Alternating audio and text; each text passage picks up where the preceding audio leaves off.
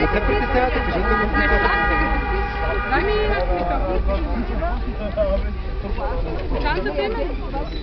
За да може да се отървеме от партиите, трябва да искат да ги финансират от държавата.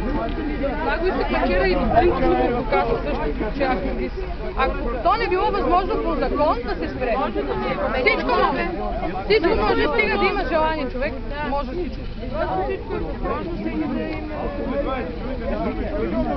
Имаме предложение господата Народното събрание да се издържат само от а, членския внос, който получава дадената партия, да се спрат парите, които ние гражданите даваме, за да правят а, предизборни а, платформи, а, плакати и така нататък.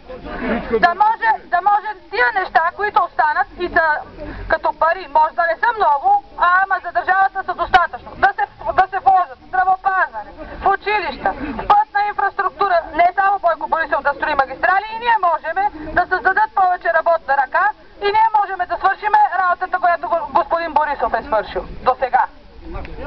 Е